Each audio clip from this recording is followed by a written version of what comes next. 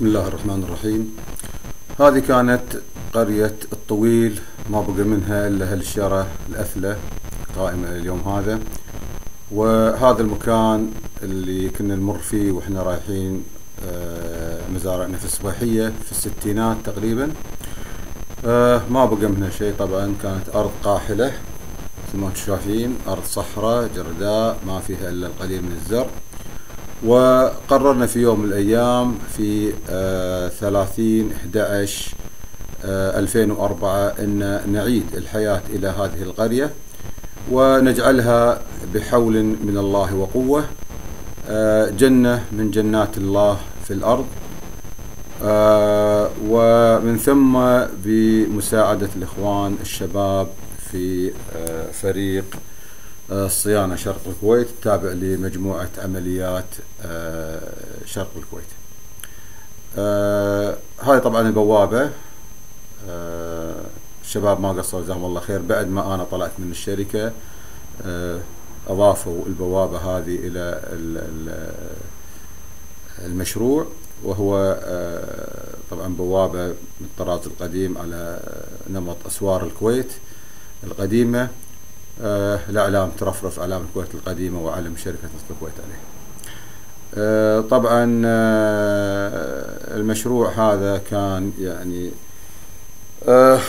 محاولة لإعادة بعض ما فقدته البيئة عن جراء استخراج النفط وعمليات استخراج النفط في المنطقة. ولله الحمد والمنة فقد تمكنا من إعادة الحياة إلى هذه الأرض القاحلة ونشوف هني ثمار النخيل نشوف أشجار النخيل من جميع الأنواع طبعا. ما شاء الله تبارك الله يعني خضراء ومثمرة. وهذا المشروع طبعا استخدمنا فيه في البداية طبعا.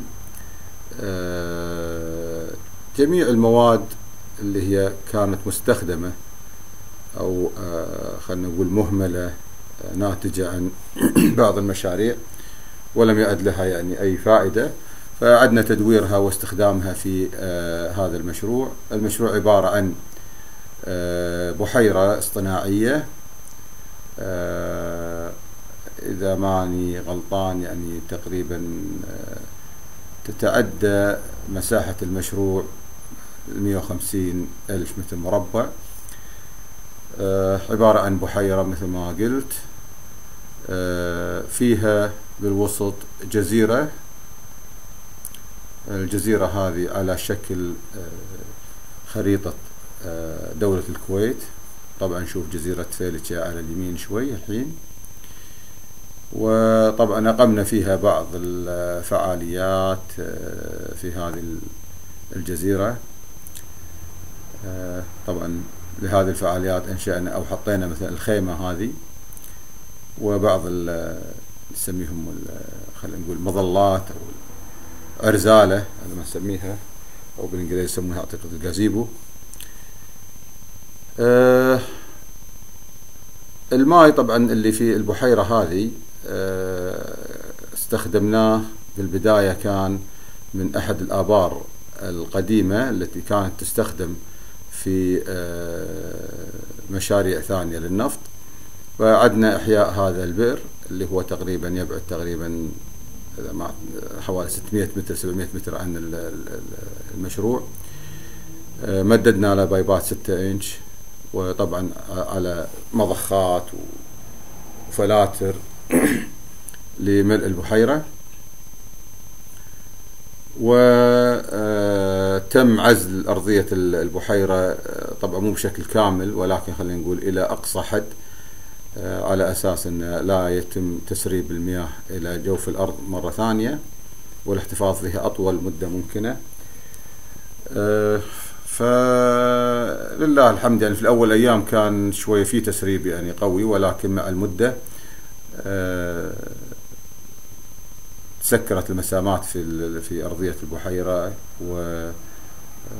وقل تسريب المياه إلى الأرض. والحين طبعا لا تملأ إلا بعد مدة خلينا نقول كل أسبوع كمية بسيطة. آه، وطبعا أنشأنا حياة آه، طبيعية في البحيرة هذه بإضافة آه، أسماك البلطي. وكان عددها لا يتجاوز خلينا نقول المية سمكة. والحين بالآلاف المؤلفة تكاثرت وصار لها أماكن تكاثر والحمد لله يعني زادت راح نشوفها بعد شوي إن شاء الله بالصور. آه، البحيرة هذه طبعا آه، أو خلينا نقول الواحة هذه هي يعني تمثل حاليا مركز اهتمام آه، لمجلس إدارة شركة نفط الكويت حيث أن اجتذبت الكثير من ضيوف الكويت الرسميين سواء من سفراء ووزراء وغيرهم من الضيوف الرسميين. آه، فقاموا بزيارة الواحة وأبدوا إعجابهم بالإنجاز. وخصوصا أن الأرض كانت أرض صحراء قاحلة لا يوجد فيها أي شيء. ولله الحمد تم إحيائها ومثل ما تشوفون يعني صارت آه، خلينا نقول قبلة آه، زيارات للمسؤولين والمهتمين آه، بالدولة. آه، طبعا هي نشوف إن هي شركة نفط الكويت ال KOC هذه أحد الشغلات اللي الشباب ما شاء الله عليهم ابدعوا فيها وحطوا فيها ورد. وهذا مع الأسف حاليا التصوير في 29 مايو ف شوي الجو حار فأغلب الورد يعني انشال وما بقت إلا هالقطعه اللي شفتوها. آه طبعا نشوف هني أشجار آه نخيل آه ووراها طبعا الكوناكاربس وفي طبعا أشجار آه سدر راح نشوفها بعد شوي. وأعتقد البمبر وجميع يعني أشجار كبيرة كثيرة آه، أحطنا فيها المنطقة. أول شيء لحمايتها وثانيا طبعا لزيادة آه، البقعة الخضراء في هذه الصحراء. البحيرة تقع آه، على بعد حوالي كيلو متر من شمال مركز تجميع رقم واحد جي سي 1 المنطقة يعني ما كانت يعني ما لها استعمال وأخذ الإذن من إدارة الشركة بإنشائها في هذا الموقع وعند ذكر إدارة الشركة أقدم شكري الجزيل للسيد سند السند اللي هو كان أحد أعضاء مجلس إدارة الشركة. لمساعدتنا في إتمام المشروع. هنا نشوف نباتات الكوسة أضافها بعض العمال اللي يشتغلون في في المشروع. وطبعا جهد طيب يعني يمكن الإنسان يستغرب ليش تزرع الشغلات هذه هني في في مشروع آه، داخل شركة نفط الكويت.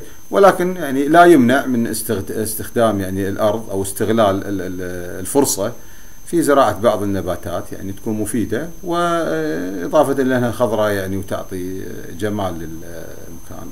شوف هني الكوسة ما شاء الله تبارك الله بدأت تثمر و ضقت أنا واحدة منهم يعني ما شاء الله شيء حلو. هني نشوف البحيرة بعض الطيور يمكن ما تبين عدل ولكن أنا شفتها يعني بالعين المجرده يعني في طيور كثيرة ما كان كان الجو حار يعني ما كان في وقت تصوير طيور كثيرة ولكن في طيور اللقلق و آه، اللي يسمونها بالخصيف ومعشش في المنطقة. آه، إضافة إلى الرهيز والسلاحي بأيام والطيور اللي طبعا هي اليرح آه، الرماني والقحافي والقفصي والحمامي وغيرها وغيرها يعني كانت تزور المنطقة ونشوفها بالربيع خصوصا شهر اثنين وثلاثة أيام تعبر الكويت. من هذا المكان الغرزالة هذه كنا نرصد تحركات الطيور وطبعا السمك تحت المنطقة هذه بالضبط آه، في آه، خلينا نقول مكان تكاثر للسمك. آه، المنطقة هذه لأن الماي نشوفه اللي قاعد يصب على الشلال هذا يعني ماي أدفى من ماء البحيرة فتلقى السمك هنا متجمع أكثر. آه، وراح نشوف آه، بعد شوي أعتقد في شو اسمه سمك صغار من البلطي في المنطقة هذه. هي عبارة عن صخور ومغطاة في الأسمنت ويعني تعمل لها طريق الشكل على أساس ينزل ماء كأنه شلال طبيعي. لإضافة بعض الألوان للموقع. آه، هذا منظر الأرزالة اللي هو جسر آه، من الأرض الرئيسية إلى الأرزالة. آه، بالخلف نشوف الخيمة وهذه مواقف أنشئت لموظفين الشركة ورواد المكان من زوار سواء من داخل الكويت أو خارجها. بال هني نشوف آه، بعض التمديدات آه، للماي اللي جاي حق البحيرة. آه، طبعا في شوية يعني صيانة لازمة. ف شوف البايبات شوف الحمامة جاية تشرب هني. وكثير من الحمام يعني في المنطقة هذه الحمد لله رب العالمين يعني سواء الحمام البارة والفاختة أو الحمام العادي يعني قاعد يفرغ في المنطقة.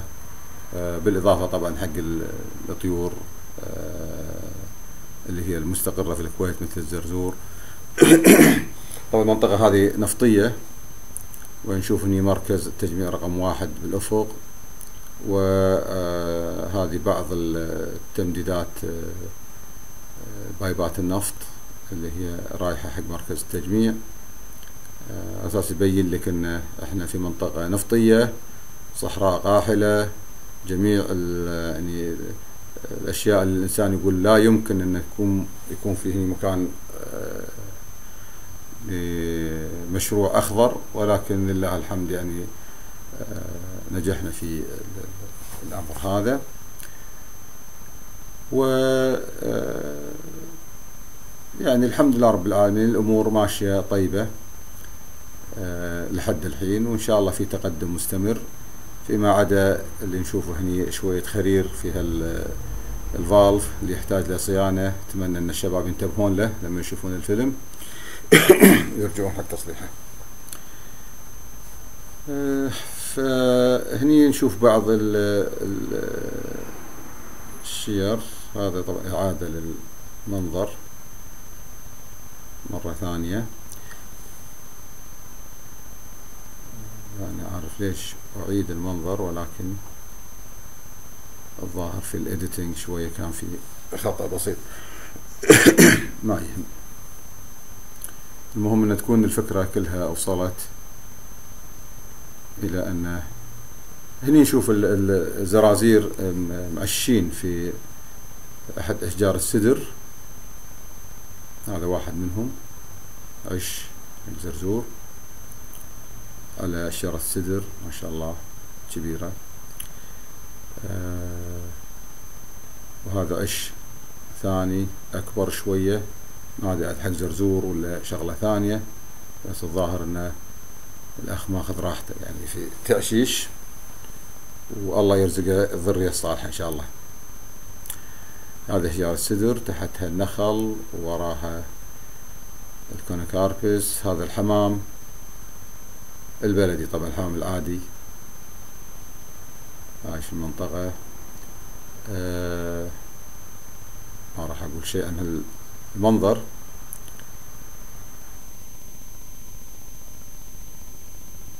أترك التعليق للناس اللي تعرف شنو هذا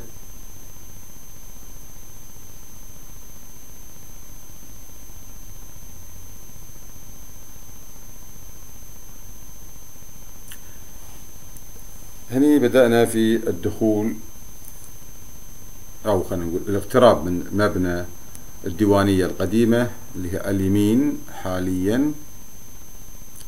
وهذا المدخل الرئيسي للديوانية ولا غرفة الاجتماعات اللي هي تضم آه، حوالي 52 كرسي من أكبر غرف اجتماعات في الشركة. هذا منظر جزئي خارجي. آه هذا جسر الأحمدي اللي طاف علينا توه سميناه جسر الأحمدي. منظر عام شوف الخضرة ما شاء الله يعني آه، لا توصف يعني الخضار. هذا جسر الأحمدي مرة ثانية. آه، نشوفه ورا صغير. شجر النخيل ما شاء الله تبارك الله يعني أخضر من اللازم.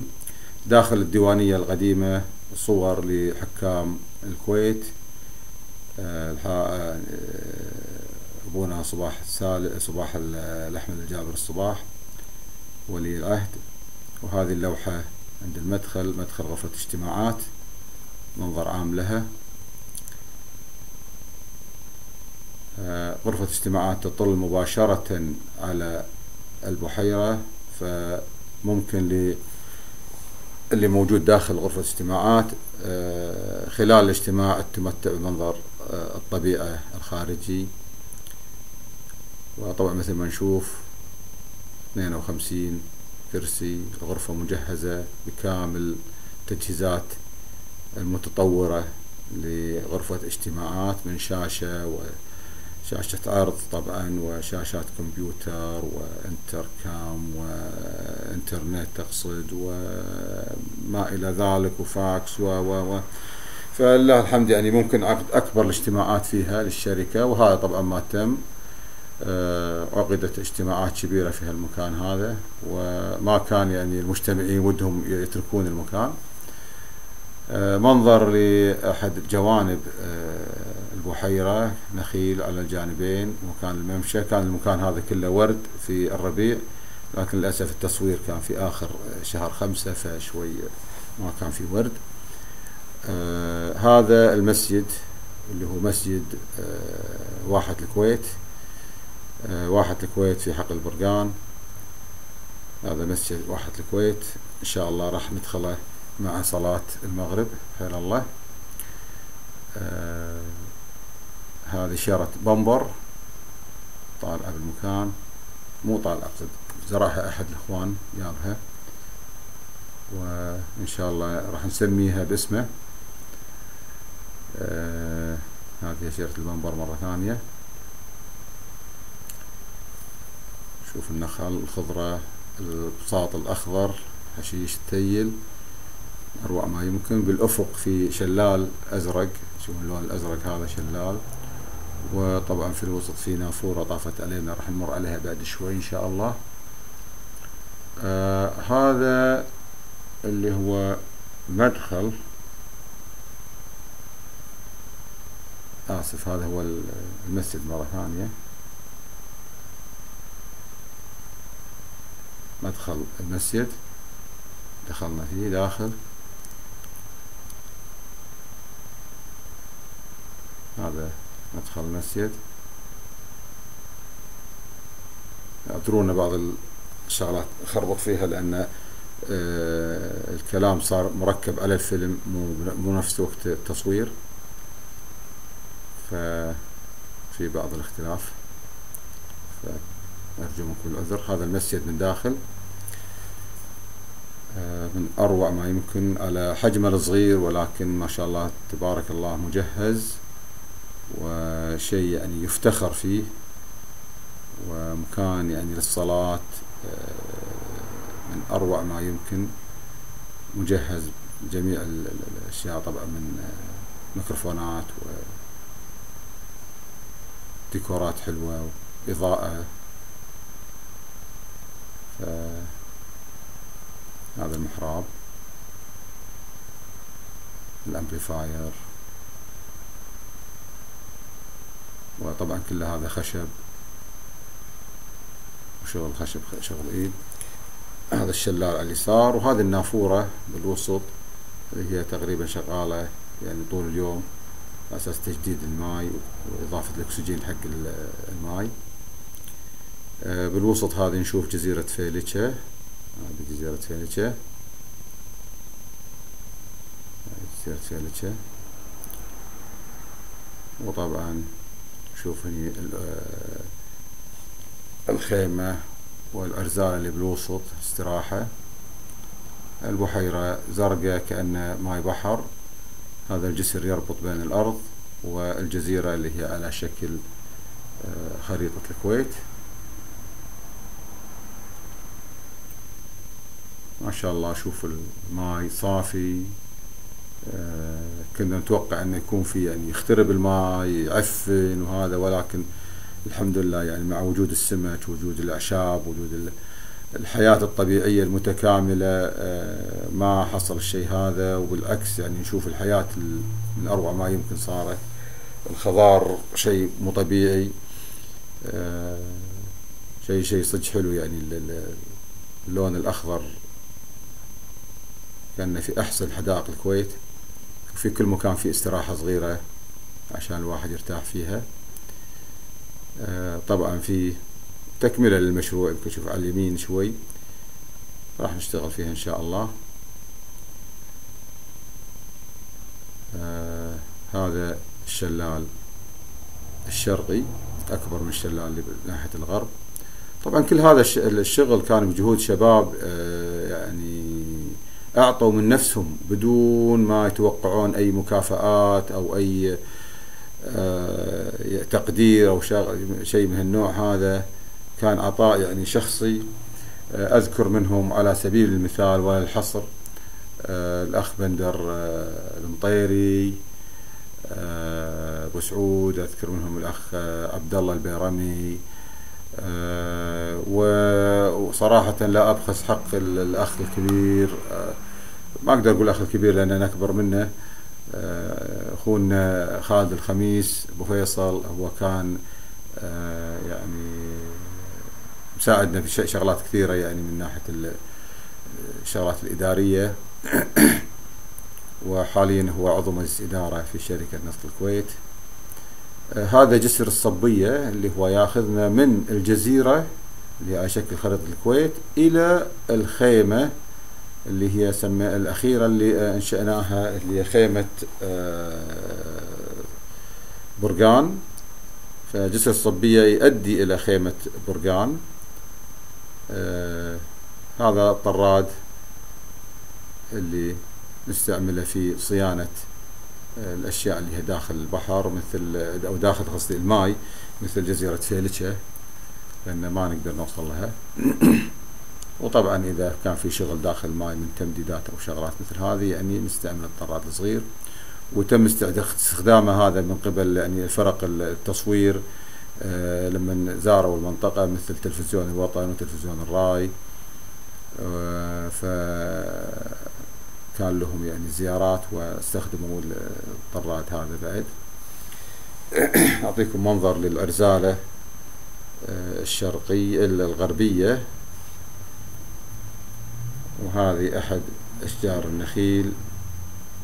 ما شاء الله شوف مثمرة يعني مع إنها صغار مع إنهم صغار يعني ما صار لهم كم سنة فما شاء الله يعني ثمرهم تمام. هني نشوف سمك البلطي. تشوف السمك واماكن تكاثرة أه تشوف هذه الحين السمكه قاعدة تقترب من مكان تكاثر وهذا الذكر يحاول الدفاع عن موقع مكان السمك هذا مكانهم المكان اللي يفرخون فيه فهو يحاول الدفاع عنه وطرد السمك عنه. منظر من الناحية الغربية تصوير من الناحية الغربية للبحيرة. إلى جسر الصبية نشوف النافورة وراء مبينة. طبعا تلاحظون في إنارة ليلية موجودة. إن شاء الله في نهاية الفيلم راح تنشاف. يصير ظلمة. آه، الإنارة طبعا عبارة عن كشافات. آه، تعطي المكان يعني إضاءة. آه، في الليل لأن في بعض المرات إحنا نجتمع في كل آخر ثلاثاء من كل شهر نجتمع في المكان هذا كنوع من التواصل بين الموظفين اللي موجودين بالشركة والموظفين اللي تركوها المتقاعدين. مثلنا طبعا اللي كبروا الحين وما عاد لهم لازمة بالشركة ولكن آه، يعني نحب نتواصل مع إخواننا الموجودين في الشركة. لأن حياة الموظفين في شركة نفط الكويت لا تنتهي علاقاتهم في مجرد وجودهم بالشركة ولكن تمتد يعني خارج حدود نطاق العمل. وهذا ما تم فعلا يعني ان إحنا نجتمع مع أخواننا اللي لا زالوا آه، موجودين بالشركة. هذا مكان السمك اللي قلت عنه إنه هو آه، مكان تكاثر السمك. آه، بدأ الغروب هني عندنا. شوف المنظر شلون حلو بالليل. مثل أحلى المنتجعات في أوروبا أو في دول شرق آسيا. من أروع ما يمكن. ما كنا الواحد في الكويت. ماي وخضرة وجو حلو ويعني تجهيزات آه، روعة بجهود الشباب. آه، يعني شيء آه، يخلي الإنسان يفخر أنه ينتمي إلى هذه الشركة وينتمي إلى هذه الأرض الطيبة أرض الكويت الحبيبة. نعيد مرة ثانية أنا عندي اهتمام خاص في هذه الأرزال الظاهر. آه، فكل شوي راجع عليها أصور لأن يعني شيء آه، يعني مو مثل أي أرزالة ثانية في في على الأرض ولكنها مرتفعة عن الماء آه، شيء حلو أن الواحد يهتم فيها. والقعدة فيها طيبة طيبة حلوة حلوة يعني خصوصا مرات لما نقعد نحدق نصيد سمك فيها شيء وايد حلو. آه، في هذه الليلة طبعا اللي إحنا رحنا اللي هي يوم الثلاثاء 29 خمسة كان في تجمع للشباب وهذا تشوفون التجهيزات حق العشاء. آه، شباب ما يقصرون يعني يجتمعون كل كل شهر للتواصل طبعا ويكون في عشاء وشوي وشغلات حلوة يعني على أساس نوع من الحياة الاجتماعية فيما بعد ساعات العمل المرهقة اللي يقضيها الموظفين في الشركة. ومرة كل شهر آه، شيء يعني وايد طيب أن الواحد يكون آه، في ارتباط مع أخوانه آه، الشباب في شركة نفط الكويت. وأنا أقول شباب لأن إحنا كبرنا وهذول الشباب إلى الآن يعني صغار ما شاء الله وهم الوقود اللي تركناه ورانا للدفع في هذا المشروع إلى آه، أعلى المراتب إن شاء الله. هذا نشوف اللافتة تعطينا حقل البرقان موقع حقل البرقان في خريطة الكويت. آه، طبعا الجسور سميت مجرد تسميات لا توجد في الطبيعة ولكن آه، يعني مجرد أسماء. هذا هني الشلال. وخلنا نقول يعني نوع من إضافة الأكسجين إلى الهواء فنعطي وهم يعطي منظر وصوت حلو للماء طبعا خليل الماء. فمنها إضافة أكسجين للماء ومنها منظر ومنها يعني آه، يعني الواحد يسمع صوت الماء. مرة ثانية نشوف بعض الأسماك هني. قاعد نعطيهم أكل أساس تجمعون نوريكم يعني كمية منهم. آه، السمك هذا طبعا كله بلطي. آه، الغريب إن في بعضهم ما أدري هنا راح يبين بالصورة ولا لا ألوانه يعني مو ألوان البلطي يعني تلقى فيه البرتقالي والأحمر وهذا بس آه، كله بلطي. وما شاء الله تصير أطوالهم يعني شيء حلو يعني توصل إلى حوالي 30 سم يعني شيء طيب. خصوصا في شهر سبعة ثمانية راح يكون كبار إن شاء الله. بس مع الأسف طبعا بالشتاء الأغلب يموت ولكن اللي يموت راح يكون رزق حق الطيور الموجودة. لأن بالشتاء أو قريب الربيع في طيور مهاجرة تمر على المنطقة. آه هذا منظر طبعا للجزيرة منظر للغروب. آه شيء روعة روعة روعة لما تشوف الغروب. في هذا المكان هذا تتصور إنك يعني في مكان آه غير الكويت كأنك في أوروبا ولكنك على أرض الكويت على الأرض على هالأرض الطيبة يعني. طرادنا الحلو هذا لا أستغني عنه. هذه خيمة آه، برقان كبيرة. راح نزورها بعد شوي إن شاء الله. طبعا الخيام هذه مكيفة وكل شيء. هذا نشوف جزيرة فيلتشة وبالافق طبعا نشوف الشلال. الأخ ناصر الكندري يتمشى. منظر عام للجزيرة جزيرة فيليتشا وراها هذا جسر الصبية.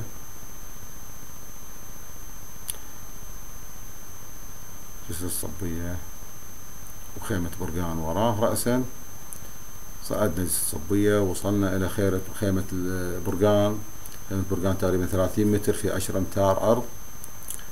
آه، من أرقى الخيام ما شاء الله والواجهة شفافة تطل على البحيرة تعطينا منظر يعني بالنهار أو بالليل من أروع ما يمكن. طبعا هالخيمة كبيرة وايد فما نقعد فيها عادة.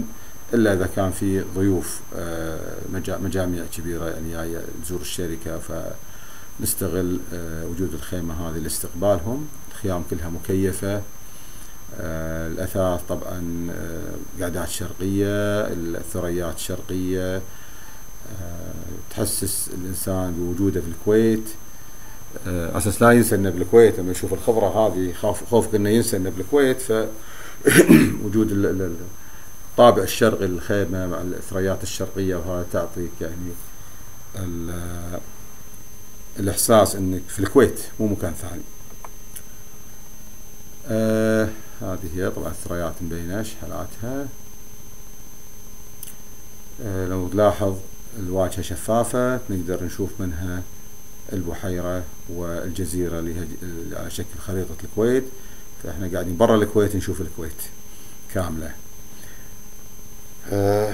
ما قبل الغروب منظر روعة الأشجار تنعكس في آه، الماي وكأنك على أحد الأنهار أو البحيرات في أماكن ثانية غير الكويت ولكنها في الواقع على أرض الكويت.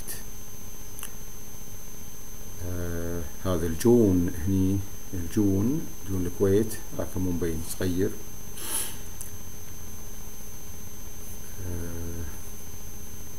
المكان يعني في حركة يعني آه، قوية نشوف يعني يعني بالليل إن شاء الله بس ما راح نكون في تصوير يعني.